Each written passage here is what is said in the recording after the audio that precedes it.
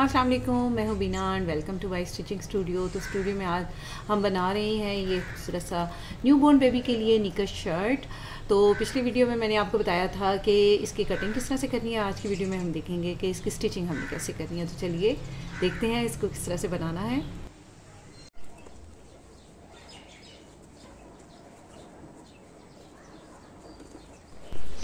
तो सबसे पहले हम नीकर सिलाई करेंगे तो ये मैंने बैक साइड की ले ली है। बैक साइड के दोनों पीस हैं, इनको इकट्ठा किया करके मैं इसकी क्रॉच की सिलाई लगा रही हूँ, यानी आसन की सिलाई लगा रही हूँ। तो देखिए इस तरह से ये जो हमने गुलाई में काटा था, उसको मैं सिलाई कर रही हूँ।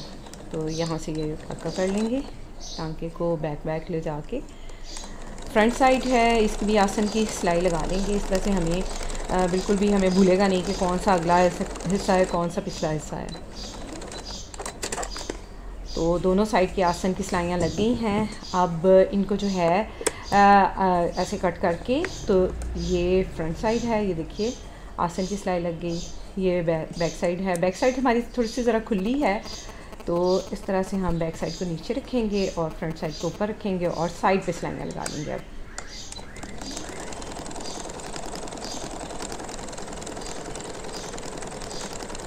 पहले एक साइड पे सिलाई लगाएँगे। और फिर दूसरी साइड पे भी इसी तरह से सिलाई लगा लेंगे ये देखिए। बिल्कुल उसी तरह जिस तरह हमने एक साइड पे सिलाई लगाई है, सीधी उस तरह से हम दूसरी साइड पे लगा देंगे। तो आसन को पहले अगर सिलाई कर लेना तो फिर हमें भूलता नहीं है, ये अगली साइड है, पिछली साइड है, वरना फिर जो है वो मिक्सअप हो जाता है और फिर सब कुछ बहुत मैसअप हो जाता है। तो देखिए, ये सिलाई लग गई है। तो इसमें क्रॉच की भी दोनों साइड की सिलाइयाँ लग गई हैं। ये देखिए, यहाँ पे भी, इस साइड पे भी और ये दरमियान में भी मैंने सिलाइयाँ लगा ली हैं, जो सीधी सी थी। अब जो है, सबसे पहले इसके पांचे जो हैं, उनकी पट्टी लगानी है हमने। तो ये देखिए, ये प्रिंट पट्टी है, इसको मैंने नीचे रखा है और नीकर की राइट साइड ऊपर की तरफ़ है, पट्टी जो है, वो रॉन्ग साइड की तरफ़ है मैंने रखी। और इसको इस तरह से इसके ऊपर सिल देंगे, सिलाई लगा देंगे, ऐसे।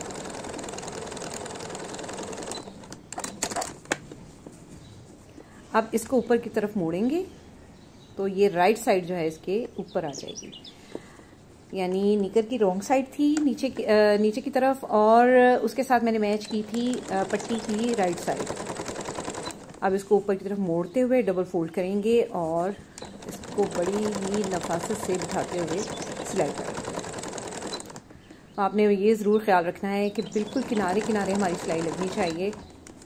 इस चीज़ का आपने ख़ास ध्यान रखना है ठीक है ये देखिए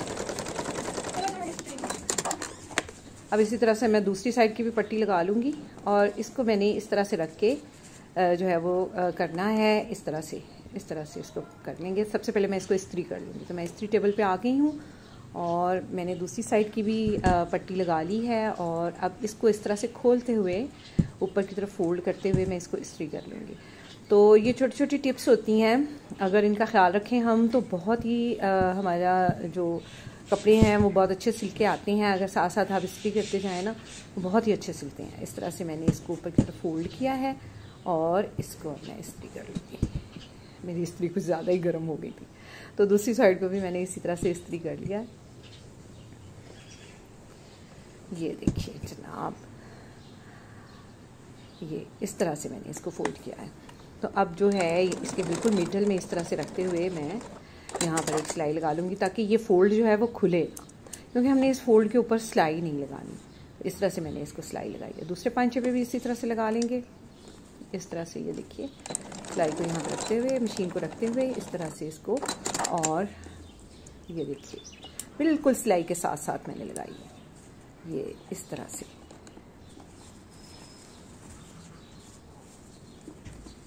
और ये दोनों तरफ़ के पैंचों पे सिलाइयाँ लग गई हैं। अब इसका जो नीचे वाला हिस्सा है, और ये देखिए, इस तरह से ना ये बिल्कुल बहुत ही खूबसूरत लगती है। और अगर आप देखें ना रेडीमेड पैंट स्नेकर शॉर्ट्स वगैरह तो उनको इससे ही सिलाई लगी होती है। अब मैं नीचे की जो है वो सिलाई लगा लूँगी।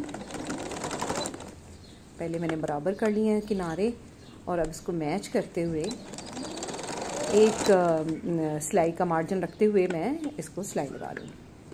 तो ये देखिए बहुत यहाँ से जो आसन की सिलाई है, इसको एक दूसरे के ऊपर बिठाते हुए, मैच करते हुए मैं सिलाई लगा रही हूँ।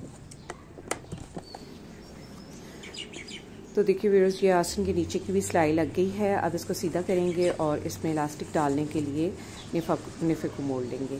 तो ये देखिए मेरे पास ये एक तकरीबन हाफ़ इंच के करीब चौड़ी इलास्टिक है। ये देखिए, और इसी के अकॉर्डिंग मैं तकरीबन एक इंच इसको मोड़ूँगी। और इस तरह से इसको मोड़ना शुरू करेंगी।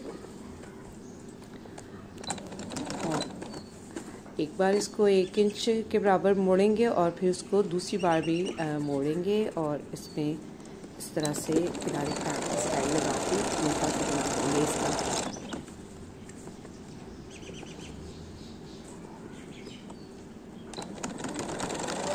ऑल अराउंड इसको मोड़ लेंगे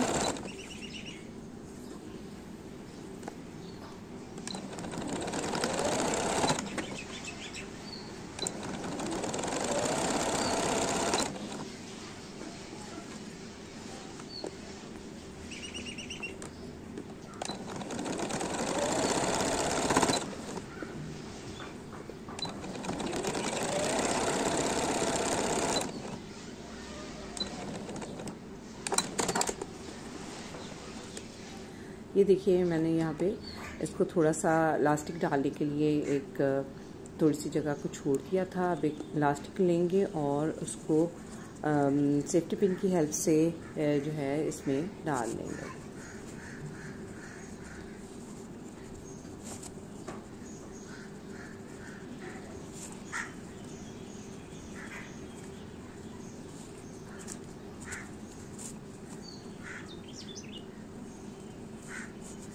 तरह से और फिर जितना भी खुला आपको चाहिए आ, उतना खुला रख के आ, उससे एक एक इंच जो है वो ज़्यादा रखेंगे और इसको ओवरलैप करेंगे और उस पर सिलाई लगा देंगे। इस तरह से इसको ओवरलैप कर लेंगे इसके ऊपर नीचे ऐसे रखते हुए यहाँ पे सिलाई लगा देंगे। खूब सिलाई मशीन को आगे पीछे करके आपने अच्छी तरह से इसको सिलाई लगानी है ताकि ये खुले नहीं।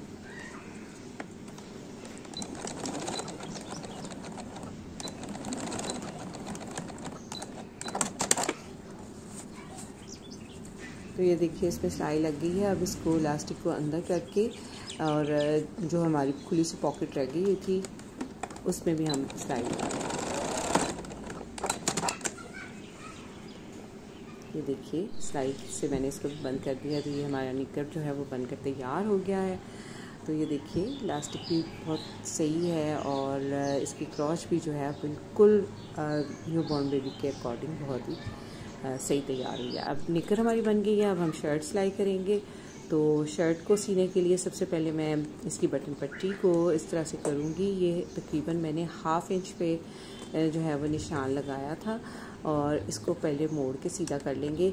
आ, ये पट्टी जो है चूँकि ऊपर नीचे आनी है तो इसलिए मैं यहाँ से इसको पहले सिलाई कर लूँगी। दूसरी साइड से भी इसी तरह से हाफ़ इंच के करीब निशान लगा के। तो इसको भी सिलाई कर लूँगी तो इस तरह से कर लें तो जब हम कॉलर लगाते हैं तो पट्टी ऊपर नीचे आती है ना, फिर कॉलर मुड़ता नहीं है। तो बहुत अच्छे से बैठ के आता है। कट लगाएँगे इसको दोनों साइड पे और इसको सीधा कर लेंगे। ऐसे। ये देखिए। और अब इसको यहाँ से हम मोड़ते हुए सिलाई लगा लेंगे। तो ये हमारी बटन की, बटन पट्टी जो है वो तैयार हो जाएगी। ये देखिए। दूसरी साइड पे भी किनारे पे भी सिलाई लगा लेंगे।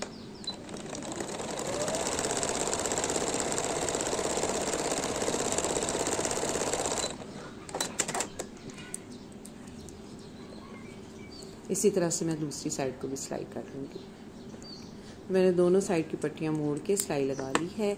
अब हम इसके शोल्डर जो हैं उनको बैक साइड के साथ जो है वो जोड़ेंगे, फ्रंट और बैक को शोल्डर से जोड़ लेंगे धीरे से।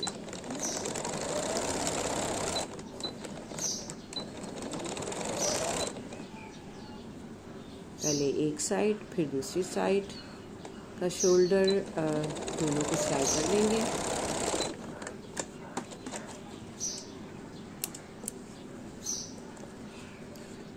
अब हमने स्लीव तैयार करनी है। साइड की सिलाई लगाने से पहले हम स्लीव लगा लेंगे। तो ये ब्लू कलर की पट्टी जो मैंने तैयार की थी, इसको इस तरह से डबल करके नीचे की तरफ़ रखेंगे, यानी उल्टी साइड पर रखेंगे। ऊपर की साइड पे जो है, इसकी सीधी साइड है, जहाँ पर प्रिंट जो है वो गहरा होता है और जो रॉन्ग साइड होती है, उस पर प्रिंट जो है वो हल्का होता है। तो मैंने नीचे की साइड पे रखी है पट्टी और इसकी जो फ्रंट साइड है, यानी राइट साइड है, उसको ऊपर रखा है दोनों स्लीव को ऐसे लगा लेंगे।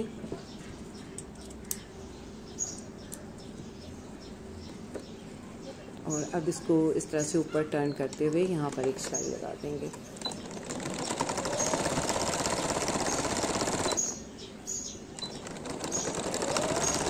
ताकि ये जो है बैठ जाए और बार बार बाहर की तरफ़ ना मुड़े। अब स्लीव को शर्ट के साथ जोड़ेंगे तो जहाँ पे मैंने कट लगाया था उसको मैच शोल्डर के साथ मैच करते हुए इसको सिलाई लगाएँगे कंधे की सिलाई कंधे से यहाँ पे इसको जोड़ देंगे शर्ट के साथ स्लीव को, इस तरह से। आपका कट जो है वो बिल्कुल ऊपर आना चाहिए शोल्डर का जो जॉइंट है उसके ऊपर।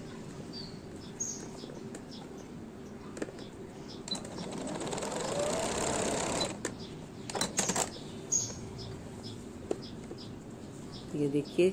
इसी तरह से मैं दूसरी साइड पे भी लगा लूँगी। कट को शोल्डर के उसके साथ मैच करते हुए रखूँगी और इसको बराबर नापते हुए। जो भी फिर आ, कम ज़्यादा हो तो आप उसको फिर बाहर आ, मतलब एक्स्ट्रा जो स्लीव है उसको आप उसके कपड़े को बाहर एडजस्ट कर सकते हैं। लेकिन आपका जो कट है वो उसके ऊपर ही आना चाहिए सिलाई पे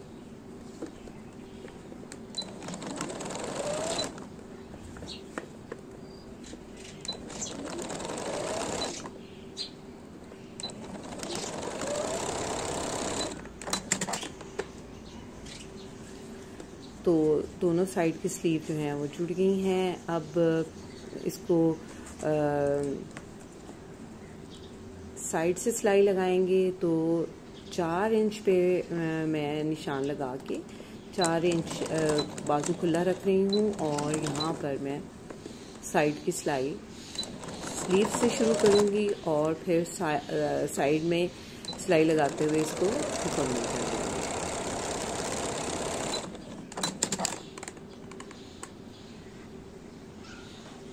दूसरी साइड पे भी इसी तरह से चार इंच पे निशान लगा लेंगे और मैं तो वैसे निशान नहीं लगाया, चार इंच मैं रख रही हूँ दूसरी साइड का बाजू भी और इधर से थोड़ा सा पक्का करके साथ ही साइड की सिलाई भी लगा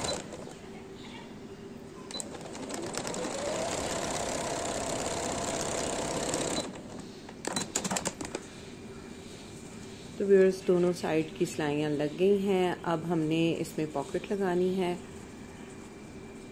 ये देखिए मैं आपको सीधा करके दिखाती हूँ। अब हमने इसमें पॉकेट लगानी है। तो सबसे पहले पॉकेट तैयार कर लेंगे। पॉकेट का कपड़ा जो मैंने पहले से काट के रखा था उसको इस तरह से ऊपर से फोल्ड करेंगे। इस तरह से और इसको थोड़ा सा खूबसूरत बनाने के लिए मैंने आ, आ, शर्ट वाला कपड़ा लिया है और पॉकेट में निकर वाले कपड़े की बना रही हूँ। और इसमें इस तरह से ये पाइपिंग की तरह आ जाएगी। और अब जो है इसको साइडों से फोल्ड करके इस तरह से बिठा लेंगे अच्छी तरह से। अच्छा इसको साइड से मैं थोड़ा सा तिरछा करूँगी और उसको करने के लिए मैंने थोड़ा सा इसका सेंटर निकाला है और इसको इस तरह से तिरछा कर लेंगे। दोनों साइड को बराबर करते हुए इस तरह से इसको इस तरह से बिठा लेंगे। इस तरह से पॉकेट लगाना ना बहुत ही आसान हो जाता है। अब पाइपिंग को इसमें रखते हुए जो मैंने कपड़ा फोल्ड किया था, उसमें रखते हुए इसको सिलाई लगा लेंगे। इस तरह से पाइपिंग लगाना बहुत ही आसान है। ये देखिए इस तरह से।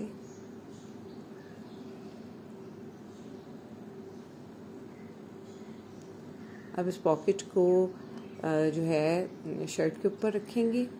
प्लेस करेंगे सही जगह पे तो ये तकरीबन हाफ़ इंच के करीब मैंने पट्टी की जो सिलाई लगाई हुई है, उसे हाफ़ इंच के फासले पे मैंने इसको रखा था और इसको सही प्लेस करते हुए, आप चाहें तो इसको पिन भी लगा सकती हैं, मैं बग़ैर पिन के ही इसको इस तरह से किनारे किनारे पे सिलाई लगा लेंगे इसको।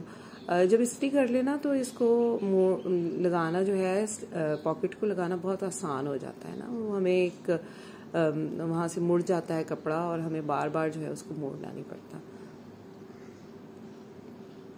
बस आपने ये ध्यान रखना होगा कि अगर आप मेरी तरह लगा रही हैं बग़ैर इसके तो आपको ये ध्यान रखना होगा कि आपकी पॉकेट बिल्कुल सीधी लगे, वरना आप पिंस भी लगा सकती हैं।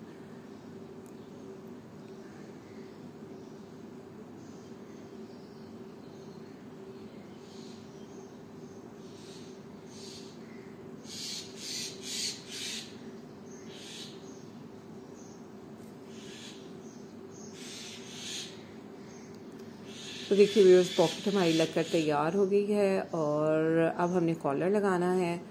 तो कॉलर लगाने के लिए हम सबसे पहले क्या करेंगे? पीछे वाला गला जो है, हल्का सा उसको काटेंगे, तराश लेंगे। तो इस तरह से मैं इसको यहाँ पे टेबल पे रखते हुए इसको हमने ज़्यादा गुलाई नहीं करनी, बस ये जो एक्स्ट्रा सा फैब्रिक हमें दिखाई दे रहा है ना, इसको ऐसे कट कर लेंगे। ये देखें। थोड़ा सा मुझे यहाँ एक्स्ट्रा और लग रहा था, मैंने उसको काट लिया है। अब हमने जहाँ पे वो सिलाई लगाई थी और बाहर निकाला था, वहाँ से लेके इधर तक नाप लेंगे। ये मेरा पाँच इंच आ रहा था। तो तकरीबन मैं ग्यारह इंच चौड़ा कपड़ा लंबा कपड़ा और इसको तकरीबन मैंने तीन इंच लंबा लिया है। उसको डबल कर लेंगे। आयरन से प्रेस करके जो है इसको काट लेंगे। इस तरह से। और अब इसको फोल्ड करेंगे, देखिए, ऐसे।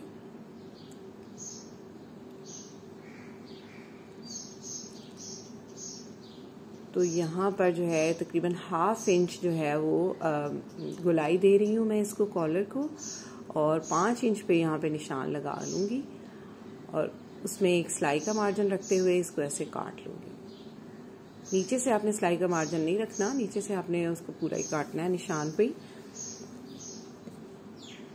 अब दोनों साइड पे सिलाई लगा के कॉलर की इसको तैयार कर लूँगी।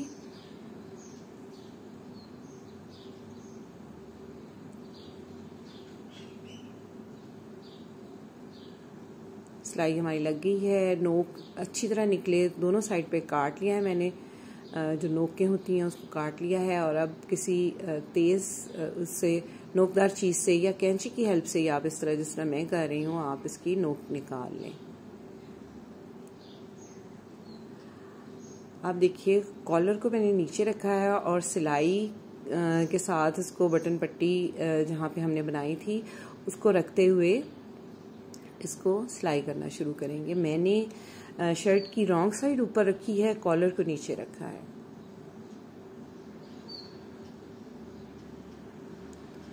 कट के साथ कट को मैच करेंगे ताकि हमारा कॉलर जो है वो बिल्कुल सही सही जो है वो लगे, बिल्कुल दरमियान में आए उसका कट।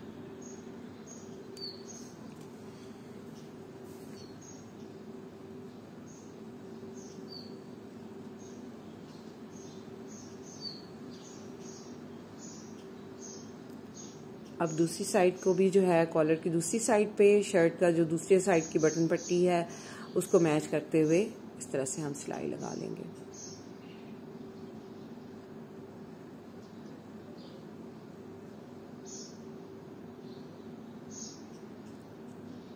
तो ये देखिए दोनों साइड से हमारा कॉलर लग गया है। अब इसको अंदर की तरफ़ ऐसे फोल्ड करते हुए यहाँ इसके ऊपर किनारे किनारे सिलाई लगा लेंगे। तो कॉलर हमारा बड़े अच्छे तरीके से लग जाएगा। तो देखा आपने कितना आसान है कॉलर लगाना। कॉलर मैंने उस वक्त पहले कट नहीं किया था, इसलिए कि जब गला जुड़ता है, ऊपर से शोल्डर जुड़ते हैं, तभी हमें अंदाज़ा होता है कि हमारा कॉलर जो है वो कितना बड़ा आएगा।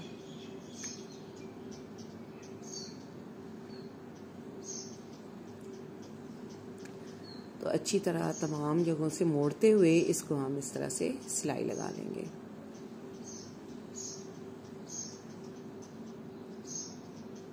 तो ये देखिए। अब नीचे से हम इसको मोड़ लेंगे शर्ट को तो इसको डबल फोल्ड करते हुए इसके ऊपर सिलाई लगा लेंगे।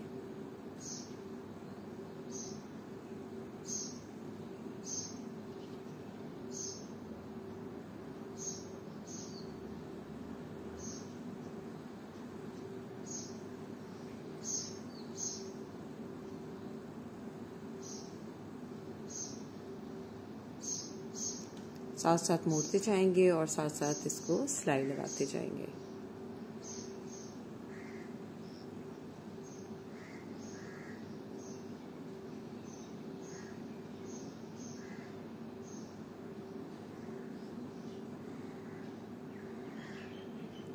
तो नीचे से भी हमारा इस तरह से मुड़ गया है और अब जो है हमें इसमें काज करने हैं तो सबसे पहले हम काज के लिए निशान लगा लेंगे। ये काज फुट है मैंने आ, मेरी मशीन चूँकि काज भी करती है उसमें इस तरह से बटन को फंसा लेंगे और इस फुट को जो है वो यहाँ पर प्लेस कर देंगे। नॉर्मल फुट को हटा के काज वाला फुट लगा लिया मैंने।